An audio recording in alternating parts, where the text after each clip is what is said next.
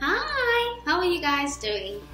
Uh, I'm fine, thanks. Just tired, long day. I went shopping uh, for some cereal. I bought two types of cereal because I love cereal.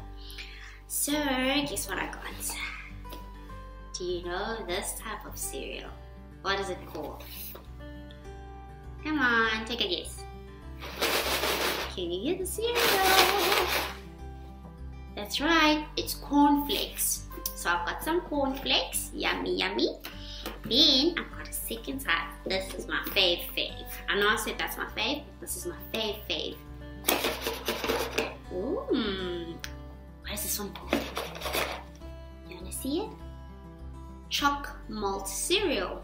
Yummy in the tummy, yummy in the tummy. So I think we're gonna have this one today. Okay, let's try some choc malt with you guys. I've got a, a bowl, okay? Sounds like it's really, really packed. And apparently the cereal is really healthy and gives you energy. I don't know. Okay, so we're just gonna wait a minute. Okay, that does not look like cereal. Is that Olaf? Oh my gosh, these are cards. Frozen cards. What are they doing in the box? I mean, the box says cereal. It sounded like cereal, but then I've got cards. I didn't get cereal. That is really strange. Let's open the other box, guys.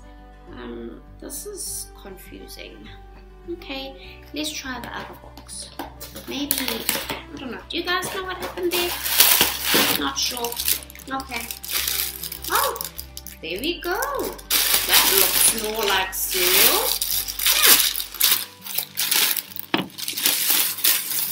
Yeah. Yeah. Uh-huh.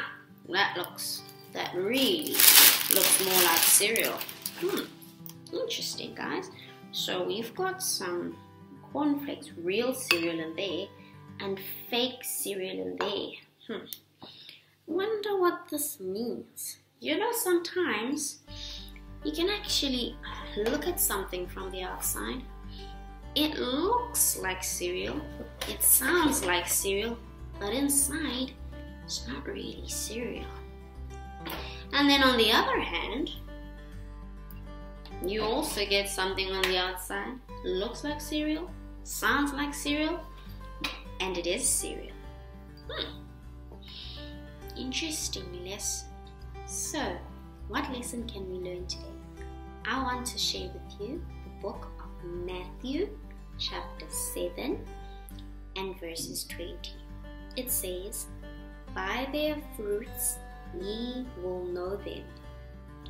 That's simple. Jesus was talking about a tree, and he was saying that a good tree cannot bear bad fruit, and neither can a bad tree bear good fruit. So, sometimes it can look like cereal, sound like cereal, but it's not actually cereal inside. And that's the same with us. God says, if we are His children, people will know us by what's inside, not what's outside. So, what is inside?